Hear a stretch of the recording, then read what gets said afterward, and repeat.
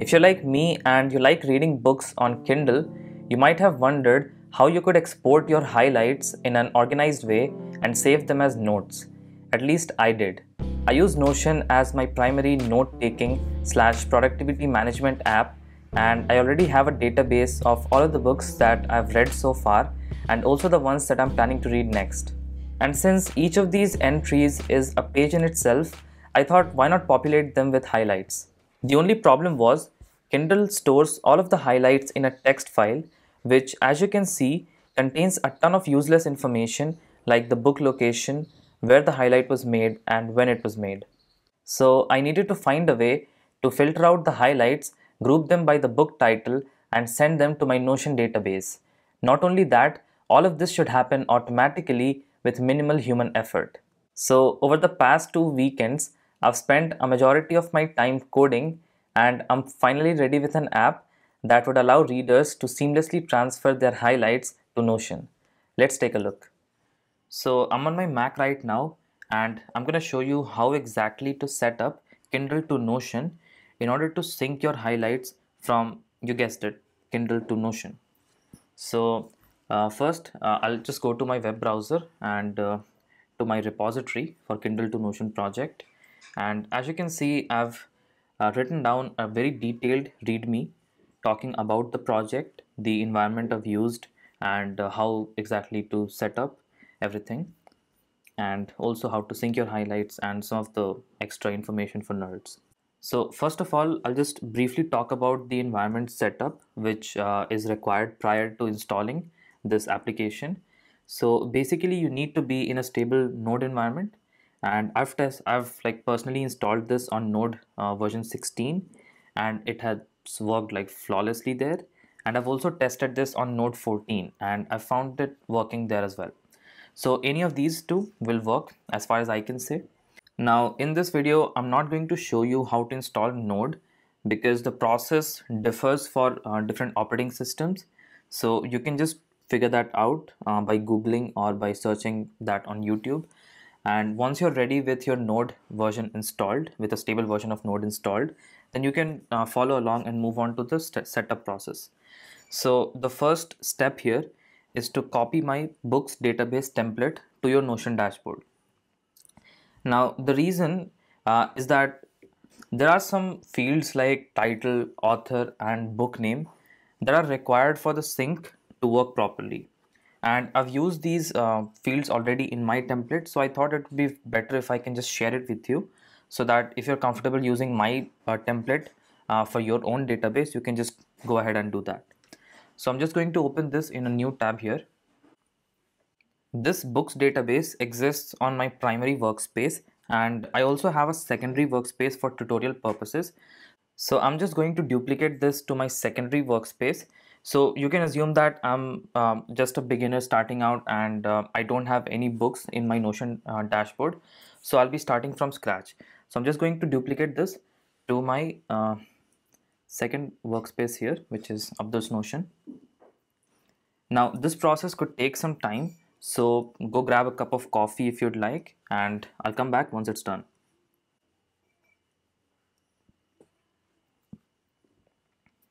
So now the entire database of books has been copied from my primary workspace to the secondary workspace and since I told that I'll be starting out with nothing in my database so imagining that you know I don't have any books there I'm just going to delete everything here. Now the books template is ready. Uh, it's emptied out, uh, no books present here. So I'm just going to go back to GitHub here and follow the next steps. So the next step in order is to clone my repository to your local system. I've provided the command for that. So just copy it. For the purpose of illustration, I'm just going to clone uh, my repository to my desktop locally. So I'm just going to open my terminal here cd into desktop and then clone the repository here. The next step is to uh, move into your local repository. So for that just do cd and kindle to notion. So now I'm inside my repository and the next step is to install all the dependencies using this command npm install.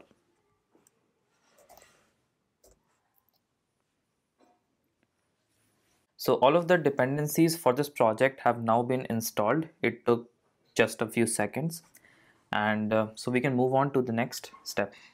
So next step is to remove dot example um, extension from these three files.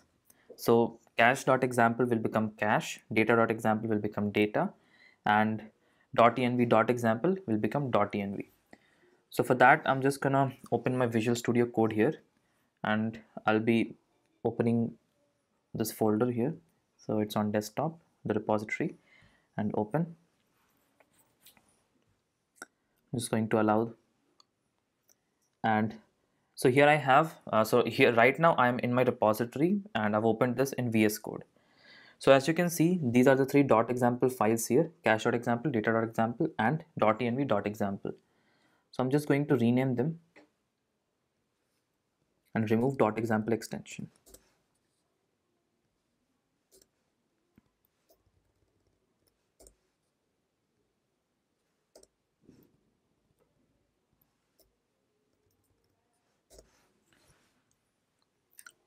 Right? Now let's move on to the next step. So the next step is to get your notion api key at this link and create a new internal integration. So let's do that step together. I'm just going to open this to a new link here. So right now i'm in my primary workspace as you can see now I already have a book highlights integration that I'm currently using with my primary workspace for the book uh, database. I'm just going to create a new integration here. And I'll, I'll name this as books highlight.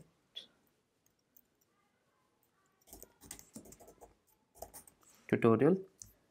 And I'll be associating this to my second workspace, my uh, secondary workspace which is Abdur's Notion. And submit okay. So now you can see the integration type is internal as given in um, github in the uh, setup process. So you can see in new internal integration. So the integration type is internal. You don't need to upload any image for the logo just the name is fine. And this will give you an internal integration token which is your notion api key. Just going to copy. Go back to uh, github now. And here the next step is to go to your Notion dashboard, navigate to the books database, click on share in the top right hand corner and invite the integration you just created. So in the previous step, we just created this uh, integration and now the next step is to allow it to access the books database which is in my secondary workspace. So I'll just click on share here, just click on invite here and select the integration books highlight highlights tutorial and uh, the access type is can edit and just hit invite. So now the integration that we just created has access to edit this database. Now let's go back to GitHub and look at the next step. So the next step is to copy the link to the Notion Books database and extract the database ID as shown below. So for example, if this is the link to the database, then this is the database ID. Uh, in simple terms, the database ID is nothing but all of this gibberish between the, the slash and the first question mark. So this is your Notion database ID. Okay. So let's go and extract that right now. So I'll go back to books here. I'll click on these triple dots and copy link to view. And I need to extract the database ID.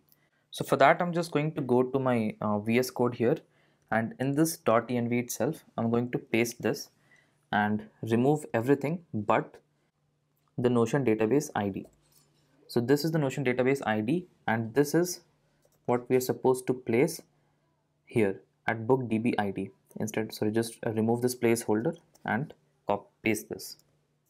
Okay. Now let's go back to the integrations page here. Copy the uh, internal integration token and this goes into your Notion API key. So this is all the setup that you must do in order to allow this app to edit uh, that database, the book database. Now save this file and head over to GitHub again. Now the next and final step is to connect your Kindle to your computer and extract the myclippings.txt file which basically contains all of your highlights or clippings. So now I'm just going to connect my Kindle to my laptop here. By the way, if you're enjoying this video, kindly press the like button and subscribe to the channel. It helps my videos reach more people and motivates me to keep making videos like this. Now let me navigate to Finder and uh, go to Kindle. So this is the Kindle drive here and if I go into documents I can find my clippings.txt. So this is a text file which contains all of your highlights. I mean in this case all of the highlights that I have made in my Kindle. So let's just copy this and the next step here as you can see is to replace my clippings.txt that is already present in the resources folder with the one uh, that you own or in this case the one that I just copied. So for that I'm going to go into Finder, go to desktop because the, that's where my uh, repository is, the local repository. I'll open Kindle to Notion, uh, go into resources folder and here I already have my clippings.txt. So I'm going to paste here and replace okay so this is exactly what you have to do in order to uh, put your uh, clippings in place of mine the one that I just kept as placeholder. Now close this window and uh, here if I go into resources I can see that all of my clippings are present. Right? So as you can see we are at the end of the setup section. So all of the setup has been completed. Now all we have to do right now is to just run this script npm start and watch our highlights teleport. So let's copy this, head over to VS Code and I'm just going to use the VS Code terminal here itself because it's available here and paste this command, right? And run. So you can see it has given me all the stats like parsing, grouping, uh, clipping stats and all of the stats for the clippings like the title of the book, the author and the number of highlights present uh, in the in my clippings.txt for that book. Similarly for all the books it has given me the same and apart from that it's showing me that syncing the highlights to Notion, syncing book and it also says that the book is not already present in the database that I provided so it's creating a new Notion page for it. Because we started with an empty database this time uh, using mine as a template, it's going to create a page for every single book since nothing is present there. I've also added these cool emojis uh, in order to make the log statements look nice. So if you like them, then let me know in the comment section. Depending on the size of the highlights, this could take quite some time. So be patient and let everything sync. So yeah, as you can see, it has successfully synced all of my highlights to Notion. And if we just go back to, uh, to my books database here, you can see all of these books have now been uh, put here and only the title and author has been populated, nothing else. So you are free to choose whatever you like for the rest. So for example, uh, let's consider this book, The Infinite Game, which is the one that I'm currently reading. So I've just made a uh, few highlights here. So I can, you know, put the status to reading and the genre to, let's say, uh, self-help. The date started, let's say, 1st uh, of December. Date finished will be uh, something in the future, let's say, December 9. So I can do the same for uh, the rest of the books. And apart from this, you are also free to change the title of these books because title is not the primary key for querying this database. Instead, it is book name. So this uh, book name is the one that matches with whatever was written in the Kindle as the title of the book. So you're free to uh, change to maybe shorten this because I feel that it's too long, too lengthy. So I'm just going to uh, change it to the art of saying no. Similarly, uh, I can just truncate this to start with Why so you can make these changes um, as and when you like. And apart from that, if you open this as a page, you can see all the highlights that are present.